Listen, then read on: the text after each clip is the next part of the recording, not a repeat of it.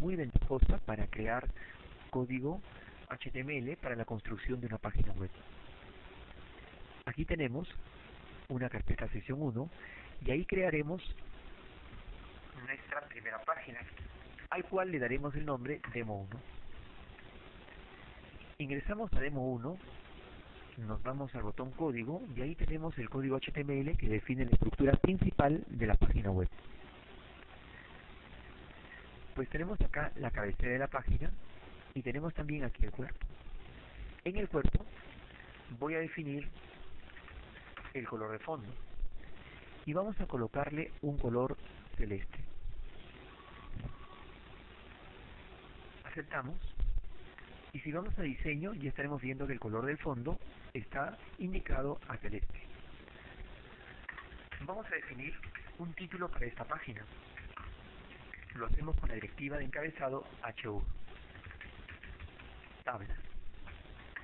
Luego vamos a crear una línea de división. Tenemos ya este diseño. Ahora luego vamos a dibujar la tabla. Para dibujar la tabla tenemos la directiva table.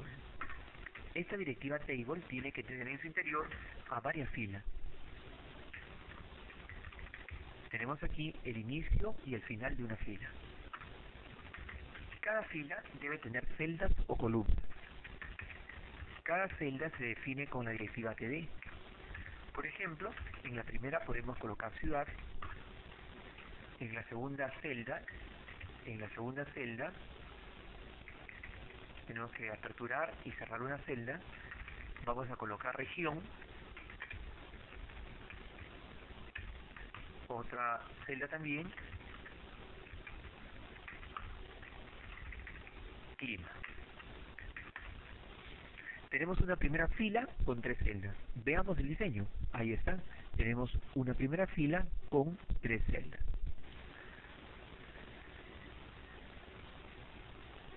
Pero las tablas no solamente tienen una fila.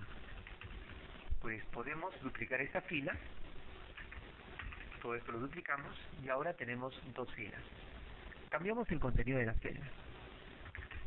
Colocamos la ciudad de Huaraz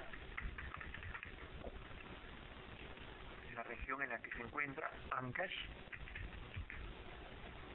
y el clima templado. Nuestra tabla tiene dos filas. Duplicamos una vez más. Tenemos ya tres filas. Acá colocaremos la ciudad de Iquitos. Región Loreto, clima tropical. una más. La ciudad de Puno, región Puno,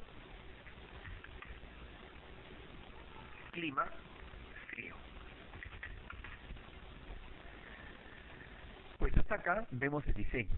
Tenemos nuestra tabla con tres columnas y cuatro filas. Pero para que se vea mejor esta tabla, vamos a modificar algunas propiedades en Table. Por ejemplo, una de ellas es definir el tipo de borde. Para eso utilizamos la propiedad border. Por ejemplo, vamos a colocarle de grosor 3 píxeles. ¿Qué tal se ve? Nos vamos a diseño, ahí está. Una tabla con borde de tipo 3 vamos a darle ancho. Para anchos se utiliza la directiva width. Vamos a darle 50%. Ahí está mejor. A esta primera fila, como hemos podido explicar, se le ha dado tres celdas. Pero a estas celdas le vamos a dar un tipo de celda especial. El tipo de celda especial con la directiva TH corresponde a celdas de cabecera. Y mira el cambio. Automáticamente se centran y están en negrita. Si a esta fila quieres darle un color de fondo, ¿a qué directiva debes cambiar? Pues debe ser a TR, porque TR representa fila. Pues nos ubicamos dentro de TR, utilizamos la propiedad de G-Color y le establecemos un color de fondo. Ahí lo tenemos. Pues así hemos terminado nuestra primera tabla. Recordemos, la directiva de la tabla es table. La tabla tiene filas, TR. Dentro de TR hay celdas. Las celdas pueden ser las normales, TD, o las celdas pueden ser TH, celdas de cabecera.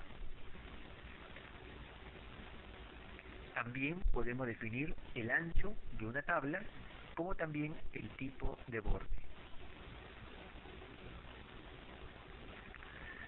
Aún más, también se utilizan aquí algunas propiedades como cell padding para poder cambiar la apariencia de las celdas. Por ejemplo, si le ponemos cell padding, cell padding 5, mira tú qué cambio se observa en las celdas. Cell padding 5 con respecto a la tabla. ¿Qué ocurrió? Si no lo observaste, vamos a poner cell padding 8 y mira el cambio. Vemos que la altura de las filas se han incrementado. Adicionalmente a eso, podemos también utilizar el spacing. Y le podemos colocar 5, por ejemplo. Veamos qué cambio se produce. Ahora la distancia es con respecto a lo que puede separar a celda y celda. Pues, ¿cuál nos parece mejor? Quizás aquí en cell padding lo rebajamos a 4 y cell spacing a 2.